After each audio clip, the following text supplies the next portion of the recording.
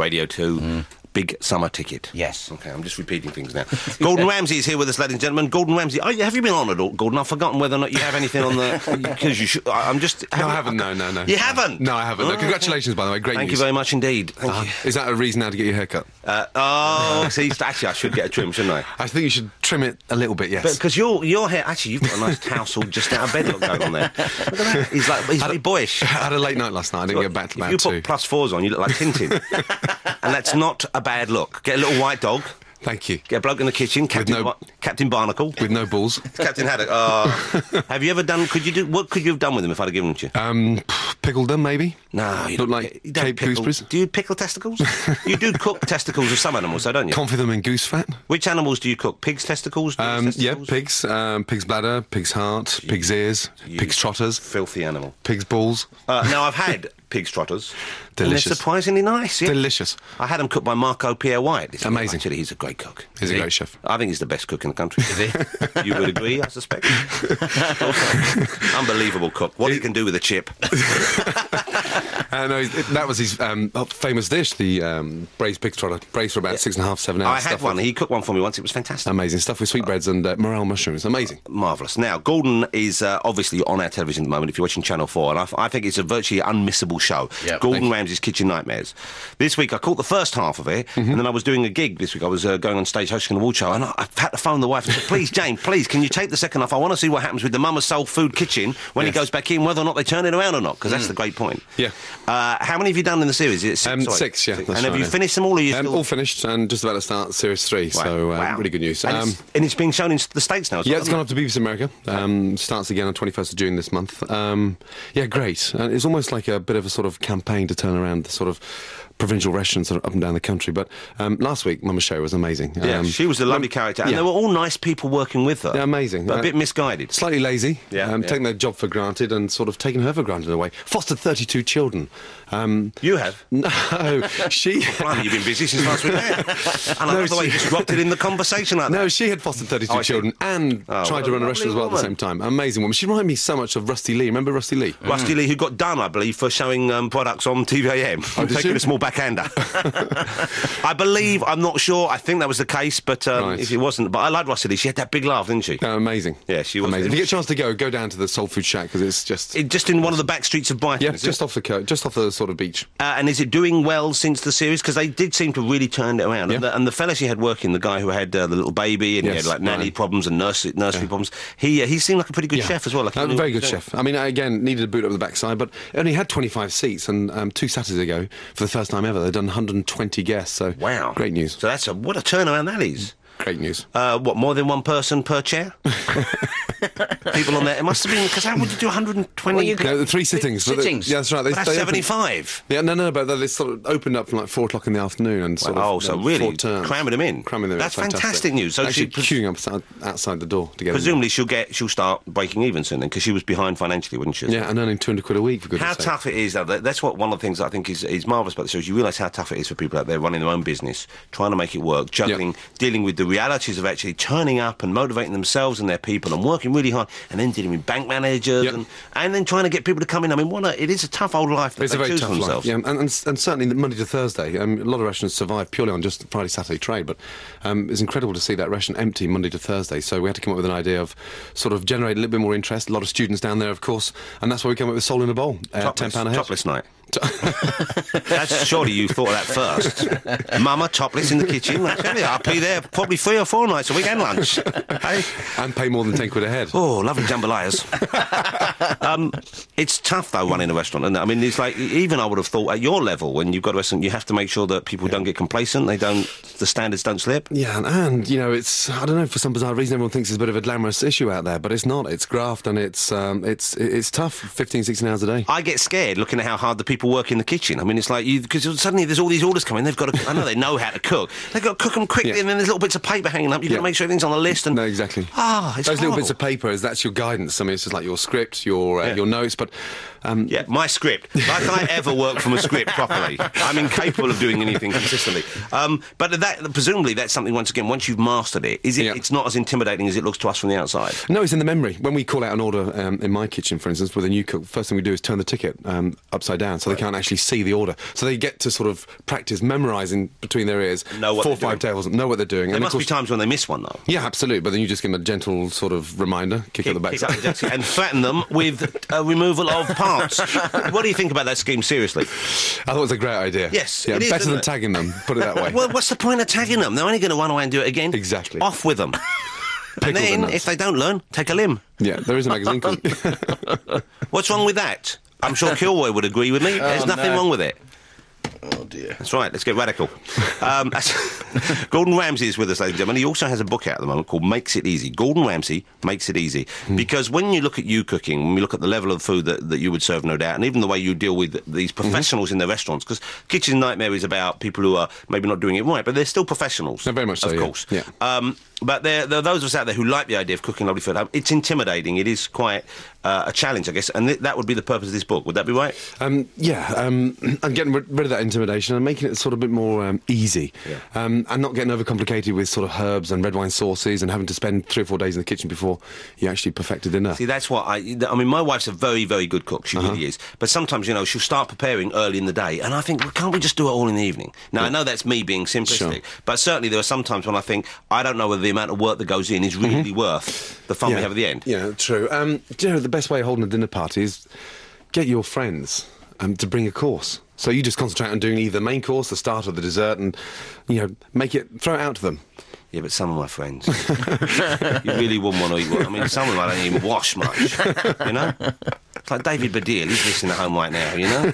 He come up with some Middle Eastern dish that, you know, Couscous. you only have on Shabbat or something. You know? It's like, well, I don't want to eat that. Whatever, Dave. No, but they're exciting things to do, and, and you know, I, I think for me the most important thing is keeping it simple and just making sure that you sort of spend money on the ingredients because the better the ingredients, the little it needs doing. Fresh ingredients. Exactly. I love a bit of steak. Yeah. Yeah, so you. Are you pink man or medium well? How dare you? and with pride Week coming up. um, what's your what is your all time favourite meal, either one you prepared yourself or one you've had prepared for you? Yeah, um, I love um, cooking fish. Um, roasted sea bass, sat on a bed of crusty Sea bass potatoes. is a lovely delicate fish. It's an amazing fish. It's sadly overfished now in this country, and um, we've got problems with this sort of the line caught scenario. But um, you know, it's sea bass, cod with mustard The lentils. cod's kind of uh, a bit overfished. I know, well, and endangered species again. Um, it's a great shame. Whiting, um, hand dive scallops. Um, we got the most amazing produce. Do you like an oyster? I love oysters, I love an oyster. but not not cooked, raw. Raw, of course, raw, Yeah, you fool. And all right, all right. what are you going to cook them for? you could lightly grill them or fry them. Not in my presence. You couldn't. How many oysters can you swallow at the same time? Uh, at the same time, Yes. I would imagine three or four. Three or four. Okay, but I could get, I could eat my way through about fifty in a sitting. Serious. Here's now. Listen, I've eaten at Ramsay's gaff. okay? Yeah. So have I. I said gaff, not calf. He hasn't opened a calf. Although that would probably be a good step forward, wouldn't it? Maybe one day. For the working man, What a roadside. book. Gordon Ramsay's a lovely egg and butter in the morning, two slices of toast, cup of tea, three pound fifty. Can't go wrong. Each bean hand washed by Gordon and gently massaged. Um, I've been to places. F- Incredible food, okay? Yep. I always have, I suppose it's a taster menu, is it? It's the one Yes, where you that's bring right, lots yeah. of little bits. Yeah, menu prestige. Incredible because you get to try all this stuff. However, in some ways, not satisfying. Really? Too small. Well, because I went to the Fat Duck this week. Oh, Okay, which is the restaurant in Bray, fantastic restaurant where you get, and it's been people say it's the best restaurant in the world, and it is incredible. It's amazing. I hate hearing this kind of adjective used about food, but it is. You would call it witty. Yeah, very I witty, guess, yeah. You know, but it, and it's lovely. However, and we had loads of stuff, and uh, but at the end I thought, you know what though, I've, ate, I've eaten those. I miss that feeling where you're almost in pain from suddenly eating loads of chips and a big bit of lobster. Yeah. and I like that as a man. I like that, mm-hmm. and I miss that with the let's call the higher end food. Yeah. La di da. Yeah. And what did you have? I had I had the menu where you tra- taste everything. Everything. I had the snail porridge. I don't agree with snail eating. I find it really unpleasant, but I ate it so as to be polite. Yes. And I tried to pretend they were mushrooms. Right. Okay? but why would you want to eat a snail? What's he thinking cooking snails? What's he think he's doing? what about the smoked bacon ice cream? I like the smoked bacon ice Lovely, cream. lovely. Lovely. That was nice. It's a clever idea. I like the little sherbet dib dab you get at the end. Yeah, great fun. You get a sherbet dib dab. Yeah. And you get a little thing you put in your mouth that tastes a bit like wood to get your mouth ready for the truffles. That's right. And the, like, they do that chocolate mousse, and, and when you sort of bite into it, it's got like the space dust in the It's got middle. space dust at the bottom. Fantastic. It was marvellous. I had a bit of pigeon. Did you? I think I probably ate everything that walks. I think you get a little bit of everything, apart from long pig. they don't cook that anymore. People complained. Um, all right, so well, let's play another track. Gordon, would I be right in thinking because you're from Scotland, aren't you? That's right, yeah, So, Johnson. Proclaimers, favourite band? Oh, great group. You look like you could be the Proclaimers. if we got Gordon a set of glasses, he Yeah. could be the extra Proclaimer. He could be. We don't haven't have- got the Three, proclaimers. three, I know. three's a crowd. so I'm hoping to find out one day, but the wife keeps saying no. Um, what are we going to buy? I was going to play the Walker Brothers. Oh, oh, fantastic. There you go. Love the Walker Brothers. I thought that was Scott on his own, but that was No, the Walker the Brothers. Walker Brothers. Uh, Gordon Ramsay is with us. Uh, he's got a new book out called Makes It Easy, which I've been browsing through at home, and it also comes with a DVD. Yes. Which is a great uh, help because really, you often books are tremendous as far as they go, but sometimes you can't beat seeing someone do it. Yeah, it was amazing how you sort of depend on things like pictures, but coming up with the idea of the DVD, again, has just take that little bit step further and made it sort of more interesting for them. And on the extra section, there's a kind of there's a little bit of Gordon at home relaxing. Oh, is there? Yeah, just relaxing in shorts. it's for the ladies mainly. Oh, I see. But it's like he looks slightly Germanic in it. They're leather shorts, right? And I would have thought you wouldn't want to cook in that kind of gear, but apparently it's okay. You got braces. oh, behave. and boots. boots, He looks like he's been drawn by Tom of Finland, and if you get that reference, then God bless you. Um, uh, when, how long have you been cooking for professionally? I mean, Um, started 19 now, 38 now, 39 at the end of the year. so you So, come- come 20 years. 20 solid years. Yeah. 20 years in the 20 kitchen. years, And um, how long was it before you got really good, do you think?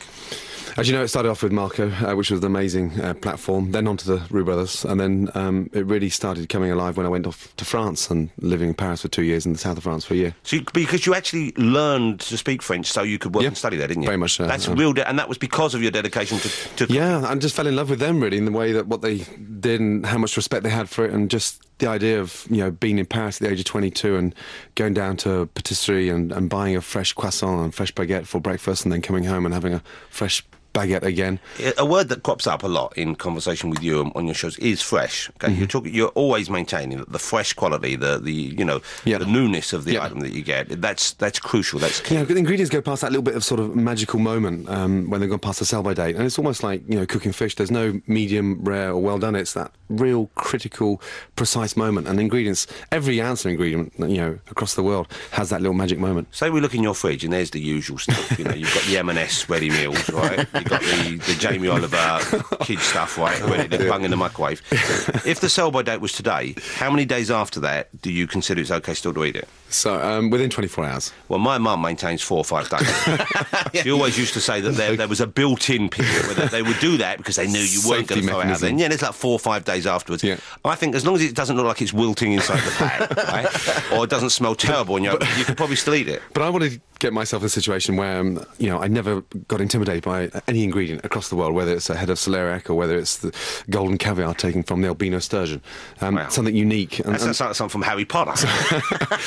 no, it's this almost like white, sort of um, lightly, sort of, um, sort of almost like platinum um, caviar from the sturgeon. And Amazing. that must be incredibly expensive. Yeah, incredible. so when you're working pound. with that, then you're working with something which, if you mess it up, that's, Yeah, that's uh, a, like, for one person a month's wages. Yeah, big time, especially in Paris, because you don't go there to earn money. and Wow. You go there to sort Does of it actually taste any different to It's regular amazing. Yeah, amazing. Very, very delicate, very soft, and You never feel sad for the baby animals that are going to frolic and prance around because you have cruelly taken them from their mother's womb and put them on a bed of parsley. says he who's just pickled his dog's bollocks. It's not the, yeah, but the dog's all right. I suppose you're right. I, I have preempted a new generation of Boston exactly that. You've just deprived him of so much pleasure, for goodness sake. Well, no, I still, you know, give him a little rub occasionally on the tummy. Oh, that's fine. on the tummy. Yeah, deep heat him. Yeah, poor little fella. Eh? Um, but but presumably when you're working with ingredients of that quality, and then, how do you learn? I mean, how do you teach someone to work Mm-hmm. Yeah. with that? Because the risk is that they're going to mess it up, and that's an Yeah. expensive learning curve. No, no, good question. Um, in this country, we're very lucky with the seasonality. As you know, fresh asparagus, strawberries just come in. Um, what I do for um, young cooks, uh, the first job always is to give them a bowl of trimmings. And how they handle those bowl of trimmings is extraordinary. If they can come up with something really exciting on a bowl of trimmings, when they get to the real ingredient, they're going to treat it with the utmost respect. So like respect. the off-cut, the fatty Yep. stuff around the edge of the steak, Yep, the sort of of, trimmings, the asparagus peelings, the sort of um, tails of the fish, um, the, the roes of the scallop, um, the tentacles of the squid. Yes. Um, and Yes, I'm as you well know, squid cooking. Um, and, and what they come up with within that sort of 45 minute um, period um, is extraordinary. And, and what is the best meal that one of your young people has cooked for you with just off-cuttings? I mean, do you eat it? You just sample it? Funny enough, a vegetarian dish, would you believe? Um, about three weeks ago, and it was done with um, white and green asparagus uh, trimmings. They made a, the most amazing sort of broth, um, Wow, vegetable broth, lovely. and it was delicious, clean, very healthy, and just the perfect way of starting a lunch. I like an omelette. Do you like omelettes? You always lower the tone. Oh, what's low in the tone there? How dare you? An omelette is you cook an omelette. Trying to cook an omelette right inside. Look, we'll talk about omelettes after the news, all right? Maybe there'll be some news about omelettes on coming up now. 88 and 81 FM. This is Radio 2 from the BBC. Right, omelettes, okay? now here's the thing. was the Gorillaz. Of course it was. That's the new single from the Gorillaz. That's great. Omelettes. There's a there's a mail order kettle get called Scotts of Stow. Are you familiar with that, Gordon? Uh, not really, no. Right, I, I, I Sorry. get sent it It's now. good and stuff. You get good stuff in there. I'm going to order a lot from the new catalogue. Is there an omelette pan in there?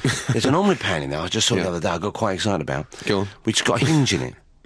A hinge. You want to get one, Gordon. You want to get some for all your restaurants. You put the eggs in, Yeah. right? Cook one side. you know how hard it is to flip an omelette. you clip the lid over. You just turn the pan over. it's like enough, and you just cook the other side. How easy is that going to make your life? That's pathetic. Don't Listen, say that. no, You you just- would like one. Just fold it like an envelope. Keep it a little bit running in the centre. Don't do that. Use a new pan.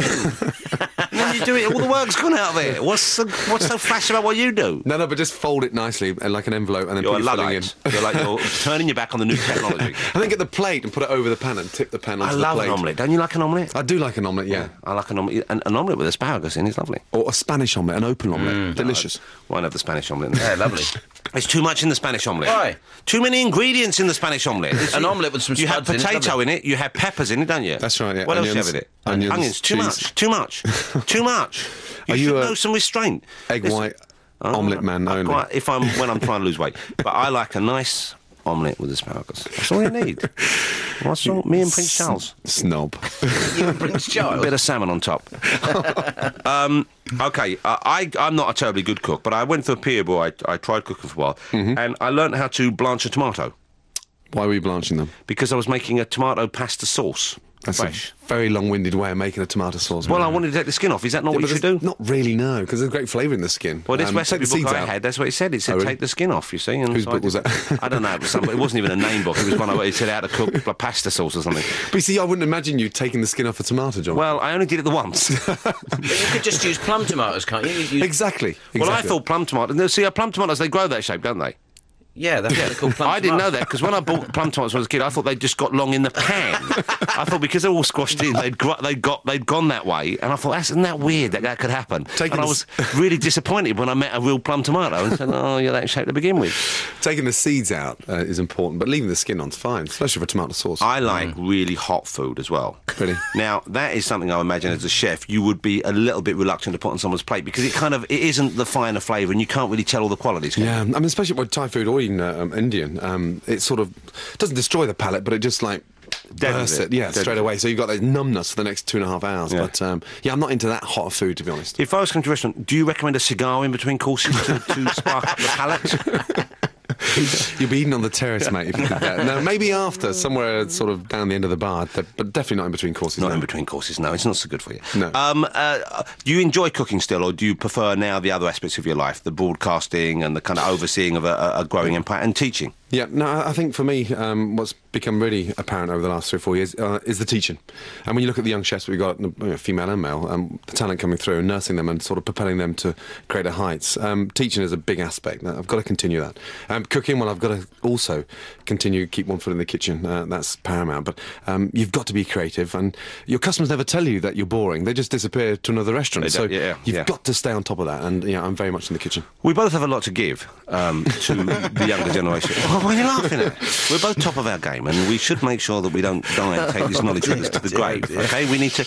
We should, but we should set up a school of broadcasting and cooking together. We could do it. asparagus omelettes. You do the lunches. I do the afternoon entertainment. all right? Can you imagine? We should. Why don't we become a gay couple and live together, Gordon, right? And set up a little restaurant somewhere. Wouldn't it be a brilliant end to our lives? What A should we call it? Yeah, we'd call it um, uh, J- Ramsay and Ross. J- J- JG's. JG's. JG's Bistro. Yeah, I'd love to, JG's? yeah, I would love to see you in a kitchen. In you know that. Brighton, let's move to Brighton. right? We'll have an antique store down below and a little coffee shop up above. Yeah. We'll both wear little neckerchiefs. Mm. Golden! I need four more cream teas, love. oh, I tell you what, he's, all. Just give me some jip ever since his back went. And then we walk the dogs together. What, what nicer future could there be for us? And your speciality were you with pig trotter, right? I would do something with it. Um, Gordon, we should just establish, in case you're concerned, has three children. Okay, Four. Four children. You only said three earlier. Did you forget about Three one? girls. Yeah, three girls. All right. Oh, he doesn't like the boy. So um, I'm just joking. If you're listening, obviously he loves all his children. What lovely little children they appear to be. They're photographed from the book, here, and you're you're teaching them to cook as well. Yes, yeah. Uh, how do you find that? Is it different teaching youngsters to cook? Presumably, you have to limit it to what, what skills they Yeah, have. no, I think every parent's nightmare is getting their sort of children off those sweet things and getting them onto the savoury. Um, especially at the moment with yeah. you know all the treats and snacks. absolutely. available. So the first thing we made was ketchup to get them away from that synthetic um, ketchup. Because ketchup has so much sugar and salt in it, doesn't exactly that, and uh, all those E numbers. So I mean, we had to come up with something a little bit more different. So they made a fresh tomato puree. Um, Megan didn't like spinach, so we made a potato and spinach soup. Holly didn't like um, salad, so we sort of made a, um, a, a normal salad. And um, you sort of disguise food for them and, and sort of get them sort of almost um, into a bit of a bargaining power with them. Yeah. That you know, you sort of teach them that way around. Uh, children often, certainly I'm speaking of from my own ones, they, they normally you can get them to try new things, providing it isn't too covered in sauces, it's Yeah, exactly. too exotic. They'll Yeah. try the actual ingredient itself, Yeah. as long as it doesn't look like it's it's. Yeah, exactly. Um, but it doesn't really sit that well in my house when they turn around and said, I don't really like Daddy. So anyway, so we disguise it. But uh, Megan had her first cookery lesson last week at school. And how old is Megan? Um, she's seven. Right. And um, this little, 10 minutes into the lesson, she put her hand up and the teacher said, Yes, Megan. She said, um, Daddy said you always must. First of all, wash your hands before you start. and teacher said, uh, "Yes, that's right, Megan. I forgot." So uh, great news that she's on the ball so early on. That is great. Not great news that the teacher's forgetting something as fundamental as washing know, her bloody hands. I know, I know, I know, I know. That's not hard of remember. Amazing. Um, and just, do they enjoy cooking? They like doing it. I mean, presumably it's something when they do it with you. It's a lovely experience for them Yeah. because Daddy's there. Yeah, especially at weekends, and um, yeah, they think Daddy's a cooker. But I mean, they don't go to the restaurants. Yeah, a cooker. They don't go to the restaurants. I don't want them to get that sort of over involved with sort of food that early on. That's not good. So uh, we want to sort of protect them at that age. And if they want to go to one of the cafes with their friend's birthday party, then I don't want them turning out to be food snobs on their tenth birthday. Foodies, no. Uh, but children do love the experience of cooking their own food. There's a real joy Amazing. Mm-hmm. that they have of seeing something in its raw form and then seeing Yeah. that they can actually create it. Yeah, absolutely. Especially cookies or cakes. Yeah. Um, Although biscuits are too hard for kids to cook. Are they? Yeah, biscuits. I can't cook biscuits. How can kids cook biscuits? Because biscuits, it's so hard to know how long to leave them in the bloody oven. Yeah, that's and then you get them out, they're too dry. they're- Yeah. Oh, I don't know. But the secret to cooking a biscuit is to take it out five minutes before it's done because it continue cooking on the tray, so they don't become dry. Well, now you tell me. well, now you tell me. Well, why don't you put that in the book somewhere? That's useful information. Next time. Never, never mind how to blanch a tomato. That's what I need to know. Take your cookies out early. I'm amazed you take the skin off a tomato. I don't anymore. Will you stop going on about it? I did it once, all right? It was a mistake. I apologise. We all make them. Uh, what's the weirdest thing you've cooked, Gordon? Uh, weirdest thing I've cooked would have to be um, okra, ladies' fingers. Really? Yeah, they're just slimy. They, they do taste a bit. I like a bit of okra. I tell you what I love. Pickled okra. Really? No, it doesn't. I mean, great for ethnic cooking, definitely. But they sort of are there to substantiate and bulk up that kind of sort of um, Indian food. But as an individual vegetable, not really my favourite. Because they, when you cook them down, when you because they have got a lot of liquid in There's them, an enzyme, it yeah. becomes kind of quite thick. It binds the Slimy, together. yeah. Uh, but you never tried the pickled okra. Um, no, not My for me. kids love it. Oh, really? They love pickled okra. They're not vegetarian, are they? No, no, but they love them. Don't say it like that with a sneer. no, just. Well, one of them is very vegetarian, actually. Really? My oldest daughter, she doesn't eat any. but she eats fish. no, she doesn't eat fish, and she doesn't even eat sweets that might have gelatin in. Oh, really? She's full on, but, she, and, but she's very charming. But she's not evangelical. She doesn't mind us doing it, but she won't have it herself. And she just decided one day. Really? I think she might be the Dalai Lama. just came out of the blue one day. You know, I don't want to eat anything that walks beside us Serious? or swims. Amazing. How old is she? She's now thirteen. 13. A lovely young woman. Um, Gordon, I wish I could say it'd been fun having you here, but as always, it's a bit like being lectured at. Why? Really, well, don't blanch your tomatoes, take your biscuits out to soon. you know, he's a bully, really. He's a, he's a bully. Halfway through, you know, when we're talking, I thought, that's a great, I had a great idea for a show. Why don't we have an idea like Cook Idol, where he's in the kitchen teaching people to cook? And I thought, oh, he's done it. uh, do you resent the fact, or not resent, but uh, do you regret the fact that you didn't do another series of um, Hell's Kitchen? Uh, what, the thought of being in a kitchen again with Edwina Currie for two weeks? No chance. um, no, I. Um, uh, an amazing time. I didn't actually see it as running a show. I just ran a restaurant for two weeks. Um, really enjoyed the stuff in the States. Uh, highly productive. Really good. It's showing now um, out there on Fox. Um, yeah, I, I enjoy Kitchen Nightmares and uh, Hell's Kitchen Nightmares is a great show. Can I just ask you, you don't have to answer, w- was Edwina Currie as good in bed as you'd hoped? That's a yes. I That's think- a yes, I think. I think you know a lot more about ladies' fingers than I do. Here we go. oh, and me and OBE. Um, who'd have thought it? Gordon, lovely to see you again. Thank you, guys. Uh, the series is great. I'm enjoying every week. I'm looking forward. Is it next week the one where they have a portrait of me in the restaurant? There is a pra- you- I can't email. They said a, they've got a picture of someone who looks like you. That's the right. Yes, it was supposed to be Oscar Wilde, but uh, Another dandy with long hair and uh, one who's actually got something to say for himself. Gordon, lovely to see you again. Good luck with the rest of the Thank series. Uh, Gordon Ramsay's book Makes It Easy is out now. We'll have a copy at home. It's fabulous, and the DVD really helps you through it all. But it's a, it's a great starter book, really, as much as anything. Exactly that. Um, but it gets you where you want to go. Gordon, great to see you again. Take, Take care. care. Thank you, guys.